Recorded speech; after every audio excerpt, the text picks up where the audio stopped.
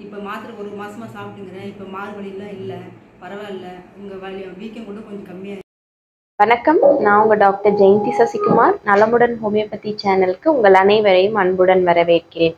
இன்னைக்கு நான் எதை பற்றி சொல்ல போகிறேன்னா இது வரைக்கும் நம்ம நம்மளுடைய யூடியூப்பில் பேசின டாபிக் தான் ஃபைப்ரோ அடினோமா ஆனால் இந்த மாதிரி கண்டிஷன் அதாவது மார்பக கட்டிகளில் வந்து குணமடைந்தவர்கள் இருக்கிறாங்களா அப்படின்ற அது வந்து நிறைய பேருக்கு ஒரு டவுட்ஸாக இருந்தது. அதுவும் ஹோமியோபதி மருந்துகளில்.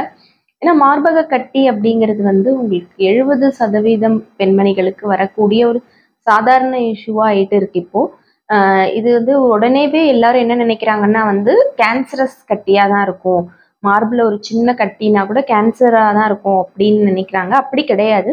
ஸோ இந்த கட்டிகள் வரதுக்கான காரணங்கள் அது எதனால் வருது எப்படிப்பட்ட ஃபீமேல்ஸ்க்கு வருது அதனால வரக்கூடிய அறிகுறிகள் அந்த மாதிரி சேம் அறிகுறிகள் வந்து நம்ம மருந்தை எடுத்து குணமான பேஷண்ட்டோட தகவல்கள் எல்லாத்தையுமே இந்த பதிவில் நான் உங்களுக்கு கொடுக்க விரும்புகிறேன் ஃபைப்ரோ அடினோமா அதாவது மார்பக கட்டி அப்படிங்கிறது வந்து நம்மளுக்கு ஒரு காரணம் இல்லாமல் வரக்கூடியது தான் இருந்தாலும் எந்த ஒரு உடல்நல பிரச்சனையாக இருந்தாலும் இடியோபதிக்னு எடுத்துக்கிட்டாலுமே நம்மளுக்கு வந்து சில காரணிகளை வந்து நம்மளுக்கு வந்து கொடுக்கப்படுது டபிள்யூஹெச்ஓ மூலமா.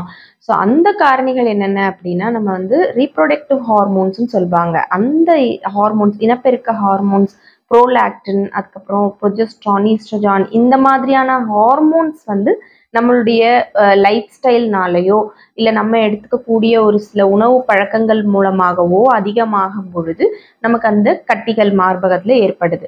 ஸோ அந்த மார்பக கட்டிகள் ஏற்படும் பொழுது ஒரு சிலருக்கு அது அதிக விளைவுகளை ஏற்படுத்தலாம். சிலருக்கு அப்படியே இப்போ நீங்கள் இப்போ விசாரிச்சீங்கன்னா நிறைய பேருக்கு வந்து இப்போது சின்ன சின்ன சின்ன ஒரு கொழுப்பு கட்டி மாதிரி இருக்குன்னு சொல்லுவாங்க. எனக்கு பெயின் இல்லை டிஸ்சார்ஜ் இல்லை எதுவுமே கிடையாதுன்னு சொல்லுவாங்க.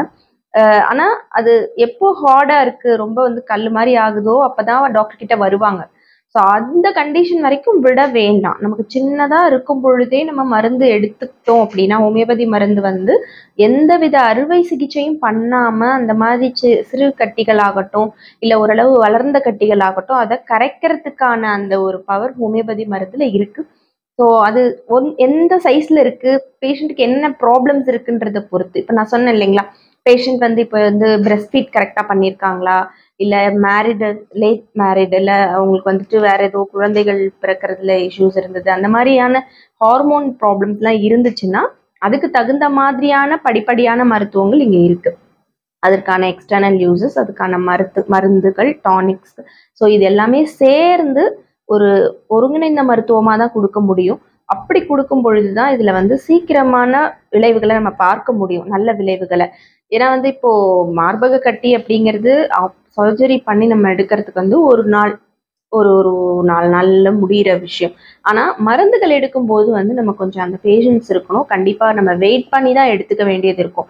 இதை நான் ஏன் சொல்கிறேன்னா வந்து இது வந்து ஒரு குறைபாடுக்கு நம்ம கிட்ட கேட்கும் பொழுது நிறைய பேஷண்ட்ஸோட ஒரு சந்தேகமா இருக்கு. எவ்வளோ நாள் ஆகும்னு சொல்லிட்டு. கண்டிப்பா மருந்து எடுக்கும் பொழுது ஒரு மாதம் ரெண்டு மாதம் ஆகலாம். கண்டிப்பா இந்த பேஷண்ட்டுக்கு நான் ஒரு பேஷண்ட் உங்களுக்கு அறிமுகப்படுத்த போறேன். அவங்களுக்கு வந்து ஒரு மாதத்துக்குள்ளவே நல்லாவே குறைந்து வந்தது. ஸோ அவங்களோட பதிவை நீங்கள் பாருங்க. உங்களுக்கே புரியும். இந்த மார்பக கட்டின்றது எவ்வளோ ஒரு சாதாரணமான விஷயம். ஹோமியோபதி பொ- மருந்தை பொறுத்தவரை. மாரில் கட்டி இருந்தது ரொம்ப மாரெலாம் வலி ரொம்ப பெருசாக தொட தொடன்னு தொங்கி இருந்தது கட்டிலாம். இப்போ மாத்திரை ஒரு மாதமாக சாப்பிட்டுங்கிறேன் இப்போ மாறு வலிலாம் இல்லை. பரவாயில்ல. உங்கள் வலி வீக்கம் கூட கொஞ்சம் கம்மியாக இருந்தது ரொம்ப தேங்க்ஸ் டாக்டர். இப்போ இந்த பதிவில் இவங்களுக்கு வந்து இருந்தது வந்து இந்த பிரெஸ்ட் ரைட் சைட் breastல இருந்தது ரொம்ப பெரிய லம்பாக தான் இருந்தது சென்டிமீட்டர் சைஸில் ஸோ கொஞ்சம் கொஞ்சமாக இன்னும் ட்ரீட்மெண்ட்டில் இருக்காங்க. குறைஞ்சிட்டே வருது.